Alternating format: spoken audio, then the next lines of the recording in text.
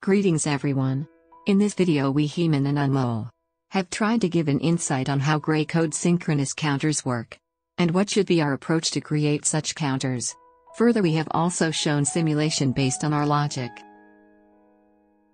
We will start off by seeing what is gray code.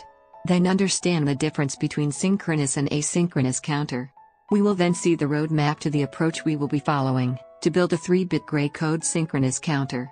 We will further see the simulation based on the circuit we build. And finally, finish off by seeing the prospects of scaling the counter to 4-bit. In this subsection, we will learn what is gray code and how to represent numbers in gray code. Gray code, also known as reflected binary code is named after Frank Gray. The bit position in gray code is of no significance and two successive values differ by a change of only one bit. Priority of bit change decreases from end, rightmost bit, to beginning, leftmost bit. And of course, the repetition of previously used bit combination is not allowed. As you can see there is change on only one bit at a time. As seen in the highlighted example. The rightmost bit is given priority to change from 0110 to 0111. So change of 0110 to 0100 or 1110 will be wrong, as the potential of change decreases from right to left. Note, make sure previously used combination of bits is not reused again. In this subsection, we will learn the difference between synchronous and asynchronous counter. In synchronous counter, all flip-flops are triggered with the same clock simultaneously. Hence it is faster due to less propagation delay. While, in asynchronous counter, Different flip-flops are triggered with different clocks, not simultaneously. Hence it is slower due to high propagation delay. In this video, we will be using the same clock for JK flip-flops making the circuit synchronous, so that it can operate on higher frequency, and has way less cumulative delay than asynchronous counters. In this subsection, we will see the steps that we are going to follow to build a 3-bit synchronous gray code counter. The roadmap we will be following is as follows. A quick glance of what is JK flip-flop. Second we will make a truth table with previous and next step of the counter with the help of excitation table. Next we will create K-maps and evaluate the expressions. Finally, we will design circuit based on these expressions. In this subsection, we will build a 3-bit gray code synchronous counter. Firstly we will understand what is JK flip-flop? And how does it work? Assuming prior knowledge of flip-flops, the circuit and truth table are shown below. As one can observe, if J and K data input are different, that is high and low, then the output Q takes the value of J at the next clock edge. If J and K are both low then no change occurs. If J and K are both high at the clock edge then the output will toggle from one state to the other. The important thing to observe and note here is that one can come up with equation for JK flip-flop as Q of t plus 1 is equal to J times Q complement of t plus K complement times Q of t. Pause the video to grasp the above mentioned points and see for yourself. Next we will build a truth table with previous and next step of counter with the help of JK flip-flops excitation table. Here we have three columns. Present state shows the progression of states through which the counter advances when it is clocked. In this case progression of gray codes from 0 to 7. Next state is the state that the counters goes from its present state upon application of a clock pulse. In this case, the next gray code with respect to present state in a circular fashion from 1 to 7 in gray coded bits. Finally, we have inputs for JK flip-flops according to present state and next state bit. JQ2 and KQ2 as flip-flop inputs for transition of bits corresponding to Q2.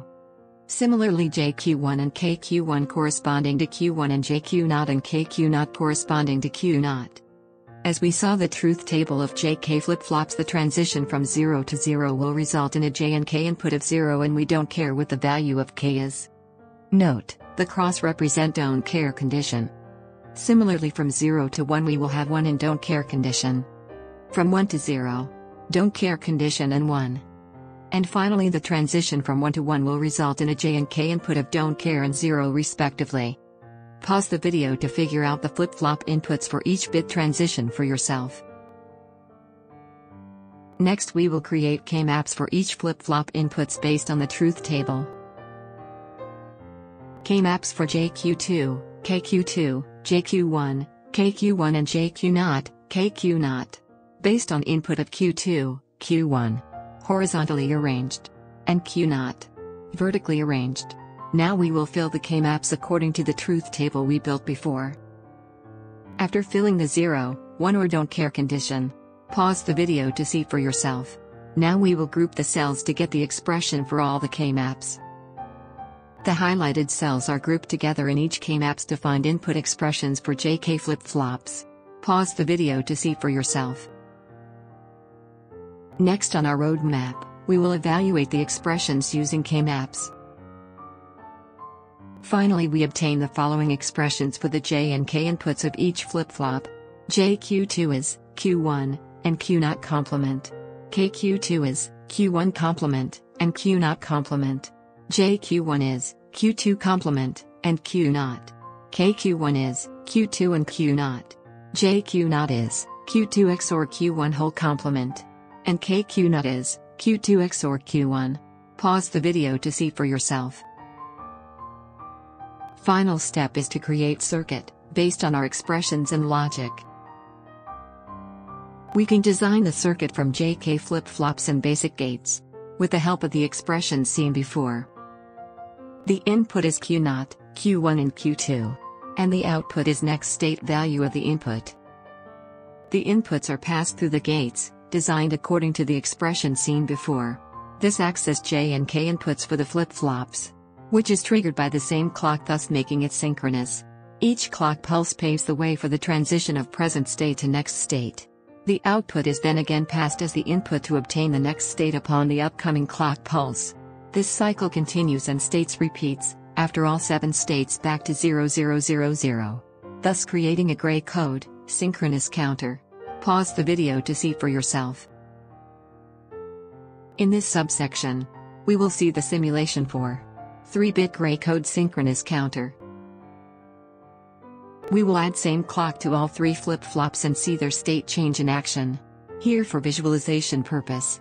Red LED represents Q0. Green LED represents Q1. And blue LED represents Q2.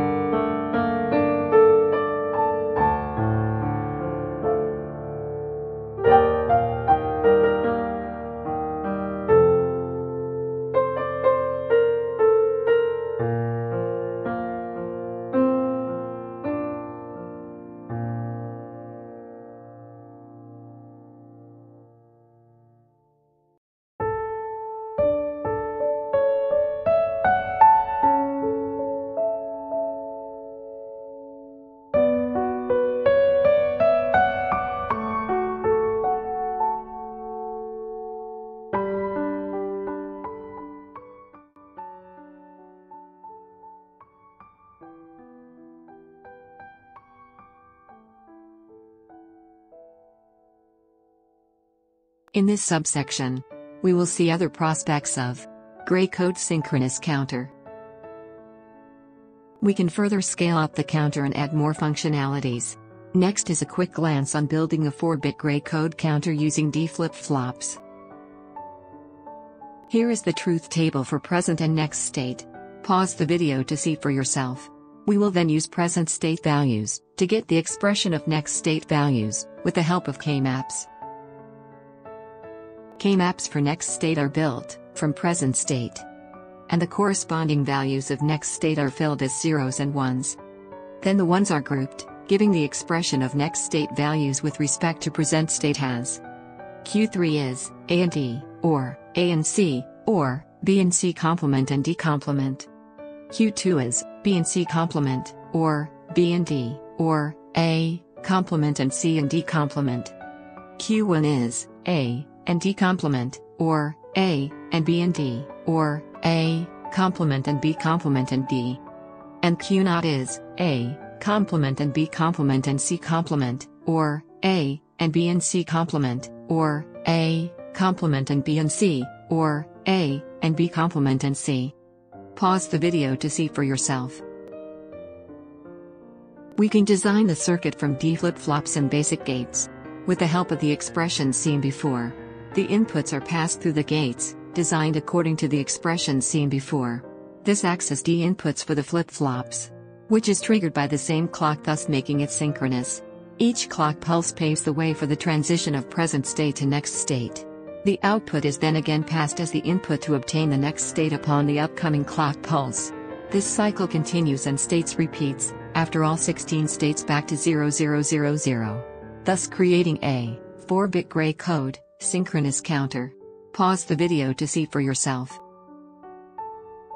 What next? Well be it counters or any other logical circuit, the applications are limitless adding more functionalities, playing with components for optimized results with less error. Or just having fun intriguing one's curiosity to build and understand something great. At last sky's the limit. So get your horses running, connect those electrical components and change the future as we see today forever. We hope our explanations were concise and clear. We used Circuitverse for simulation, Kazam for screen recording, Draw.io for making circuits. And text-to-voice.org to convert text to voice. Hope you had fun. Thank you for watching this video.